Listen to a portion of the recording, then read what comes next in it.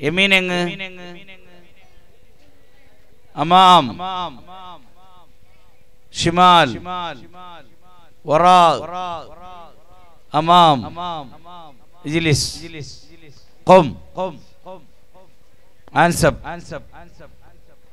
Down ഇജ്ലിസ് الحمد لله الحمد لله رب العالمين والصلاة والسلام على أشرف المرسلين وعلى آله وصحبه أجمعين ما بعد ഇപ്പോൾ കൂടുതൽ സംസാരിക്കുന്നില്ല നമ്മുടെ പ്രിയപ്പെട്ട എം എസ് മുഹമ്മദ് സ് നമ്മെ അറിയിച്ചതുപോലെ ഒരുപാട് വിഷയങ്ങൾക്ക് മുന്നിൽ നിൽക്കുന്ന സംഘടനയാണ് എസ് എസ് എഫ് അള്ളാഹു എല്ലാ മനുഷ്യർക്കും ഓരോരോ കഴിവുകൾ കൊടുത്തിട്ടുണ്ട്. ആ കഴിവുകൾ ഒന്നുകൂടി പ്രാക്ടിക്കലാക്കാനും പരിപോഷിപ്പിക്കാനും വേണ്ടിയാണ് Karnataka state S S F Pratibhotsav എന്ന രീതിയിൽ നമുക്ക് ഒരുക്കിയത്. നല്ല പ്രസംഗിക്കാൻ കഴിയുന്നവർ ഒരുപാട് വിദ്യാർത്ഥികൾ ഉണ്ട്. നല്ല ഖുർആൻ ഓതാൻ കഴിയുന്നവർ നമ്മുടെ സമൂഹത്തിൽ ഒരുപാട് വിദ്യാർത്ഥികൾ ഉണ്ട്. നല്ല നഷീദകൾ പാടാൻ കഴിവുള്ള വിദ്യാർത്ഥികൾ ഒരുപാട് നമ്മുടെ സമൂഹത്തിലുണ്ട്. നല്ല ബുർദ ചൊല്ലാൻ കഴിവുള്ള ഒരുപാട് വിദ്യാർത്ഥികൾ നമ്മുടെ സമൂഹത്തിലുണ്ട്. നല്ല പാട്ടുപാടാൻ കഴിയുന്ന ഒരുപാട് വിദ്യാർത്ഥികൾ ഉണ്ട്. അവരുടെ ഹൃദയത്തിന്റെ ഉള്ളിലുള്ള നൈസർഗികമായ വാസന ആ നല്ല ഒരു അവസരം പുറത്തെടുക്കാനാണ് സുന്നി സ്റ്റുഡൻസ് ഫെഡറേഷൻ നമ്മുടെ മുന്നിലേക്ക് പ്രതിഭോത്സവ് എന്ന രീതിയിൽ വെച്ചിട്ടുള്ളത്. നാടിന്റെ രാജ്യത്തിന്റെ വിവിധ ഭാഗങ്ങളിൽ പ്രതിഭോത്സവ് നടക്കുകയാണ്. ഇന്നലെയും ഇന്നുമായി പല സ്ഥലങ്ങളിലും നടന്നുകൊണ്ടിരിക്കുകയാണ്. അള്ളാഹു നമ്മുടെ മക്കളെയൊക്കെ വലിയ ഉയർന്ന സ്ഥാനത്തിലേക്ക് അള്ളാഹു എത്തിക്കുമാറാവട്ടെ എന്ന് ദുആ ചെയ്യുകയാണ്. പ്രിയപ്പെട്ട മക്കളോട് പറയുന്നത് ഇവിടെ എം എസ് നേരത്തെ സംസാരിക്കുമ്പോൾ പറഞ്ഞതുപോലെ ഇനി നമ്മുടെ സമൂഹത്തിന് ലീഡർഷിപ്പായി വരേണ്ടത് നിങ്ങളാണ്.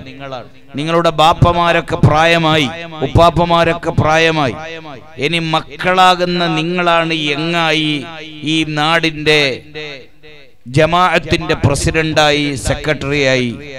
രാഷ്ട്രീയ സാമൂഹിക സാംസ്കാരിക മേഖലകളിൽ വലിയ ലീഡർഷിപ്പായി വരേണ്ടത്. അവിടെ വരുമ്പോൾ നമ്മുടെ കഴിവുകൾ നമ്മൾ പ്രാക്ടിക്കൽ ആക്കിയാലേ ആ പദവി എത്തുമ്പോ നമുക്ക് അതുകൊണ്ട് വലിയ പ്രയോജനം ഉണ്ടാകുകയുള്ളൂ അതുകൊണ്ട് ഈ കഴിവുകൾ ഇന്ന് ചിലപ്പോ എല്ലാവർക്കും ഫസ്റ്റ് കിട്ടിക്കൊള്ളണമെന്നില്ല. എല്ലാവർക്കും സെക്കൻഡ് കിട്ടിക്കൊള്ളണമെന്നില്ല. എല്ലാവർക്കും വലിയ വലിയ സ്ഥാനങ്ങൾ കിട്ടിക്കൊള്ളണമെന്നില്ല. പക്ഷേ നമ്മൾ ഉദ്ദേശിക്കേണ്ടത് പ്രോഗ്രാമിന് വരാത്ത കുറെ ആൾക്കാരുണ്ട്. അവരെ സംബന്ധിച്ചിടത്തോളം ഇന്ന് പ്രോഗ്രാമിൽ വന്നവരൊക്കെ ഫസ്റ്റാണ് ഇന്ന് പ്രോഗ്രാമിൽ സംബന്ധിച്ചവർ പാട്ടുപാടിയവർ സ്പീച്ച് നടത്തിയവർ ബുറുദ ചൊല്ലിയവർ ബാങ്ക് കൊടുത്തവർ ഖിറാഅത്ത് നടത്തിയവർ നഷീദ നടത്തിയവർ എല്ലാവരും അവരവരുടെ നിലയിൽ നോക്കുമ്പോൾ ഒന്നാമത്തെ സ്ഥാനത്താണുള്ളത്. അതുകൊണ്ട് തന്നെ ഇന്ന് ചിലപ്പോൾ ഫസ്റ്റ് കിട്ടിയവർക്കായിരിക്കും ഇനി ഡിവിഷനിലേക്ക് ചാൻസ് വരുന്നത്.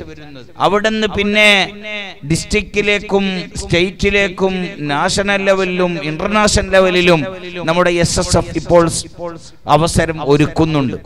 ഇനി ഇതിൽ ഏതെങ്കിലും ഒരു നിലയിൽ നമ്മൾക്ക് കഴിഞ്ഞിട്ടില്ലെങ്കിൽ തന്നെ ഒരു ചാലഞ്ചായി ഞാൻ ബോളന്തൂർ സെക്ടർ എസ് എസ് എഫിന്റെ ഇന്ന ഇന്ന യൂണിറ്റിന്റെ മെമ്പർഷിപ്പ് എടുത്ത എസ് എസ് എഫുകാരനാണ് അവിടെയുള്ള മദ്രസ ക്യാമ്പസിലുള്ള എസ് ബി എസിന്റെ പ്രവർത്തകനാണ് ഞാൻ.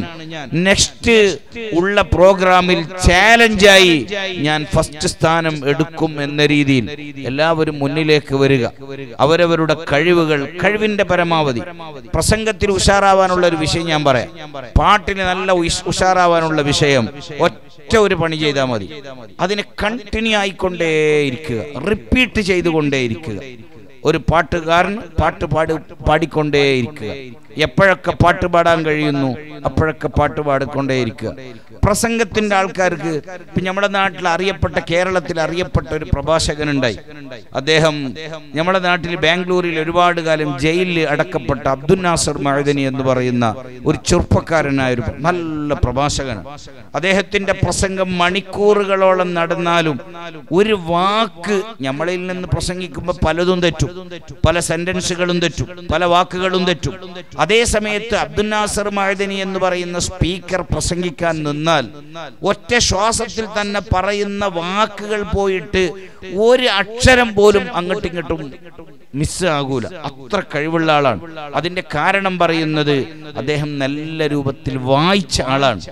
നല്ലോണം വായിക്കണം. പ്രസംഗിക്കാൻ കഴിയണമെങ്കിൽ വായിക്കണം. വായിക്കാൻ ഏതൊക്കെ നല്ല രൂപത്തിലുള്ള പുസ്തകങ്ങളുണ്ട് ഏതൊക്കെ നല്ല രൂപത്തിൽ സോഷ്യൽ മീഡിയയിൽ വരുന്ന ഖണ്ഡികകളുണ്ട് അത് നല്ലോ നല്ല രീതിയിൽ വായിക്കണം. വായിച്ചു കഴിഞ്ഞാൽ അക്ഷരങ്ങൾ അറിയാതെ നാവിന്റെ ഉള്ളിലേക്ക് വരും. അക്ഷരങ്ങൾ വരാൻ കഴിഞ്ഞാൽ അറിയാതെ അക്ഷരങ്ങൾ സെന്റൻസുകളായി വരും. പിന്നെയാണ് അത് ടോപ്പിക്കുകളായി വരുന്നത്. അതുകൊണ്ട് തന്നെ നല്ലോണം വായിക്കണം. ഒന്നുകൂടി ഒറ്റൊരു വാക്ക് പറയുന്നു ഇസ്ലാം. ആ ഇസ്ലാം മുത്തുനബി സല്ലാഹു അലൈഹി വസല്ലമ തങ്ങളുടെ മുന്നിലേക്ക് മലക്കുകൾ വന്നിട്ട് പറഞ്ഞൊരു വാക്കുണ്ട്. മലക്കുകൾ വന്നിട്ട് പറഞ്ഞൊരു വാക്കുണ്ട്. ആ വാക്ക് എന്താണ് ഇസ്ലാമിന്റെ ആദ്യ ഇസ്ലാമിന്റെ ബൈലയാണ് പരിശുദ്ധ ഖുർആൻ. ആ പരിശുദ്ധ ഖുർആനാകുന്ന പരിശുദ്ധമായ ഇസ്ലാമിക ഗ്രന്ഥത്തിൽ ആദ്യമായി മുത്തനബി സല്ലല്ലാഹു അലൈഹി വസല്ലമ തങ്ങളോട് ജിബ്രീൽ അലൈഹിസ്സലാം പറഞ്ഞ വാക്ക് എന്താണ് ഒറ്റ വാക്കാണ്. ഇഖ്റ വായിക്കണം. ഇഖ്റ ഓതണം. ഇഖ്റ വായിക്കണം. ഇഖ്റ വായിക്കണം. എന്നതാണ്. ഖുർആനിൽ ആറായിരത്തി ചില്ലാനം ഹർഫുകളുണ്ട്. നൂറ്റി പതിനാല് സൂറത്തുകളുണ്ട്. മുപ്പത് ജുസുകളുണ്ട് പക്ഷെ ഖുർആനിന്റെ തുടക്കം അതായിരുന്നു ഇഖ്റ വായിക്കണം. എങ്ങനെയാണ് വായിക്ക വായിക്കാൻ എന്തൊക്കെയോ ഉണ്ടാകും? അനാവശ്യങ്ങൾ ഉണ്ടാകാം തോന്നിവാസങ്ങൾ ഉണ്ടാകാം ഇസ്ലാം മതത്തിന് പൊരുത്തപ്പെടാത്തതുണ്ടാകാം. അതുകൊണ്ട് വായിക്കേണ്ടതൊന്ന് മാത്രമാണ്. നിന്റെ റബ്ബുമായി ബന്ധപ്പെട്ടത് മാത്രം വായിക്കണം. നിന്റെ ഖാലിഖായ അള്ളാഹു പൊരുത്തപ്പെട്ടതുമായി മാത്രം വായിക്കണം. അങ്ങനെ വായിച്ചാൽ നല്ല രൂപത്തിൽ പ്രസംഗിക്കാൻ കഴിയും. ഒരു പാട്ട് ഒരാൾക്ക് പാടാൻ കഴിയണമെങ്കിൽ ആദ്യം ആ പാട്ട് വായിച്ചു നോക്കണം. എന്നിട്ട് അതിനെ റിപ്പീറ്റ് ചെയ്യണം. അപ്പോഴാണ് ആ പാട്ട് പാട്ടാകുന്നത്. അങ്ങനെ ഒരാൾ വായിച്ചാൽ അറിയാതെ വായിക്കുന്നതിന് എഴുതാൻ വേണ്ടി കഴിയും. എഴുതാൻ വേണ്ടി കഴിയും. ആ രൂപത്തിൽ നമുക്ക് നമ്മുടെ പ്രവർത്തനങ്ങളൊക്കെ നടത്താൻ കഴിയും. സംഘടനാ പ്രവർത്തനങ്ങൾ നടത്താൻ കഴിയും. അതുകൊണ്ട് എന്ത് ചെയ്യണം? വായിക്കണം. പഠിക്കണം എഴുതണം ആ രൂപത്തിൽ ഓരോരാൾക്കാർ എന്ത് ചെയ്യണം? ഇംപ്രൂവ്മെന്റ് ആകണം. അങ്ങനെ ഇംപ്രൂവ്മെന്റ് ആയാൽ നമുക്കൊരുപാട് പ്രവർത്തനങ്ങൾ നടത്താൻ വേണ്ടി കഴിയും. ഇപ്പൊ നോക്കി ഓരോരോ സംഘടനകൾ എങ്ങനെയാണ് ഇപ്പൊ ഓരോരോ സംഘടനകൾ അത് വലിയ സ്ഥാനത്തെത്താനുള്ള കാരണം എന്താണ്? നല്ല പ്രഭാഷകർ സ്പീക്കർമാർ അതിലുണ്ടാകുന്നു. S S F S S F India golden fifty എന്ന രൂപത്തിൽ ഇന്ത്യയുടെ വിവിധ സ്റ്റേറ്റുകളിൽ പ്രോഗ്രാമുകൾ നടത്തി. അതിന്റെ സമാപന പരിപാടി ബോംബെയിൽ നടത്തി. അതിന് നേതൃത്വം നൽകിയ ആളാരാണ് ഡോക്ടർ മുഹമ്മദ് ഫാറൂഖ് നൈമി ഉസ്താദ് എന്ന് പറയുന്ന പ്രഗത്ഭനായ ഒരു സ്പീക്കറാണ്. അദ്ദേഹത്തിന്റെ പ്രഭാഷണമാണ് എല്ലാ ഗ്രാമങ്ങളിലും നാടുകളിലും ടൗണുകളിലും എല്ലാ സ്ഥലങ്ങളിലും അദ്ദേഹത്തിന്റെ പ്രസംഗം നീങ്ങിയത്. അതുകൊണ്ട് തന്നെ വായനക്ക് വലിയ ബഹുമാനമുണ്ട്. പഠനങ്ങൾക്ക് വലിയ ബഹുമാനമുണ്ട്. എഴുത്തുകൾക്ക് ബഹുമാനമുണ്ട്. പ്രിയപ്പെട്ട മക്കളോട് ഒന്നുകൂടി പറയുന്നു നിങ്ങൾ പഠിക്കേണ്ട സമയമാണ്. നല്ല കല്ലിൽ എഴുതിയതുപോലെ നിൽക്കുന്ന സമയമാണിപ്പോ. സ്കൂളുകളിലുള്ള വിദ്യാഭ്യാസം അത് മുടക്കാനേ പാടില്ല. സ്കൂളിലുള്ള ഒരു ദിവസത്തെ വിദ്യാഭ്യാസം മുടക്കാൻ പാടില്ല. സ്കൂളിലുള്ള ഓരോ സബ്ജക്റ്റുകളും ഇമ്പോർട്ടന്റ് ഉള്ള സബ്ജക്റ്റുകളാണെന്ന് മനസ്സിലാക്കി അത് ഫസ്റ്റ് സ്റ്റാൻഡേർഡ് മുതൽ എസ് എസ് എൽ സി വരെ പ്രൈമറി ഇമ്പോർട്ടന്റ് ആണ്. അതേ സമയത്ത് പ്രൈമറിയേക്കാൾ ഇമ്പോർട്ടന്റ് ആണ് ഹൈസ്കൂൾ ഹൈസ്കൂളിൽ നിന്ന് ഏറ്റവും വലിയ ഇമ്പോർട്ടന്റ് ആണ് എസ് എസ് എൽ സി എന്നത്. ഇന്ന് ഗൾഫ് രാഷ്ട്രങ്ങളിലേക്ക് ഒരു ജോബുമായി ബന്ധപ്പെട്ടാൽ ക്യാഷുകളും മറ്റുള്ള രീതിയിലുള്ള സ്വാധീനങ്ങളും അധികാരങ്ങളും കൊണ്ട് നടക്കുന്നില്ല. അവന്റെ എഡ്യൂക്കേഷനിന്റെ ആധാരങ്ങളാണ് കാണിക്കുന്നത്. S S L C certificate ഉണ്ടോ? എഡ്യൂക്കേഷനുമായി ബന്ധപ്പെട്ട എന്തൊക്കെ ദാഖലകളാണ് ഉള്ളത്? അവൻ പി യു സി ഫില്ല് ചെയ്തിട്ടുണ്ടോ? അവൻ ഡിഗ്രി ഫില്ല് ചെയ്തിട്ടുണ്ടോ? അതിനപ്പുറം ഏതൊക്കെ കോഴ്സുകളിൽ അദ്ദേഹം ബന്ധപ്പെട്ടിട്ടുണ്ട് എന്ന ആധാരമാണ് ഗൾഫ് രാഷ്ട്രങ്ങളിലുള്ള മുഴുവൻ എംബസികളിലും മറ്റ് രാഷ്ട്രങ്ങളിലുള്ള എംബസികളിലും പരിശോധിക്കുന്നത്. പ്രിയപ്പെട്ട മക്കളോട് പറയുന്നു ഇത് പഠിക്കേണ്ട സമയമാണ് ഇത് ഓതേണ്ട സമയമാണ് ഇത് പാടേണ്ട സമയമാണ് ഇത് പ്രസംഗിക്കേണ്ട സമയമാണ് ഇത് വായിക്കേണ്ട സമയമാണ് ഇത് കണ്ടിന്യൂ ആയി റിപ്പീറ്റ് ചെയ്യേണ്ട സമയമാണ്. ഈ സമയങ്ങളൊക്കെ വേണ്ടതുപോലെ പരിശുദ്ധ ഖുർആൻ ഇഖ്റ ബിസ്മി റബ്ബിക്കല്ലദീ ഖലഖ. ഖലഖൽ ഇൻസാന മിൻ അലഖ. എന്ന രീതിയിലുള്ള പരിശുദ്ധമായ ഇസ്ലാമിന്റെ വാക്യങ്ങൾ നമ്മുടെ മുന്നിലേക്ക് എത്തുക. ഞാനിപ്പോ ഞാൻ ഈ സംഘടനാ പ്രവർത്തന ക്ലാസ്സിൽ സാധാരണ പറയാറുണ്ട്. നമ്മുടെ നാട്ടിൽ ഇന്ദിരാഗാന്ധി പ്രധാനമന്ത്രിയായ സമയത്ത് നമ്മുടെ നാട്ടിൽ തുർത്തു പരിസ്ഥിതി എന്ന് പറയുന്ന ഒരു അവസ്ഥ ഉണ്ടായി. നമ്മളെ കേരളത്തിലെല്ലാം അടിയന്തരാവസ്ഥ എന്ന് പറയും. ആർക്കും ഒന്നിനും സ്വാതന്ത്ര്യം ഇല്ല. ഇന്ദിരാഗാന്ധി പ്രൈം മിനിസ്റ്റർ ആയ സമയത്ത് അങ്ങനത്തെ ഒരു സാഹചര്യം ഉണ്ടായി നമ്മുടെ നാട്ടിൽ ഒരാൾക്കും ഒന്നിനും സ്വാതന്ത്ര്യം ഇല്ല. ആർക്കും ഒരു പാർട്ടിയോ ഒരു രാഷ്ട്രീയത്തിനോ ഒരു സംഘടനക്കോ ഒരു ഗ്രൂപ്പിനോ ഒന്നിനില്ല ആ സമയത്ത് പലരെയും ജയിലിലടക്കപ്പെട്ടു. അതിന് കുറെ തക്കതായ കാരണങ്ങളുണ്ട്. അന്ന് ജയിലിൽ നിന്ന് രക്ഷപ്പെട്ടിട്ട് ഒന്ന് രണ്ട് പേര് എങ്ങനെയെങ്കിലും അവരെ പാർട്ടി ഒന്ന് ഇംപ്രൂവ്മെന്റ് ആക്കണം.